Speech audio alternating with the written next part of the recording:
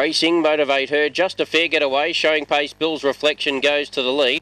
Up on the outside was Dami Gell, the favourite. Motivate Her's railing well on that first corner and got the run. Motivate Her got away from Bill's Reflection on the outside, Dami Gell. Then came Coco Marlow, but around the corner, Motivate Her, the first favourite's home. Motivate Her beat, beats the Bill's Reflection, tied for third, Dami Gell or Coco Marlow. In behind those were Bright Sky, then came It's All Baloney. Well back Mia Rose and No Reply. And a pretty good run, 1831.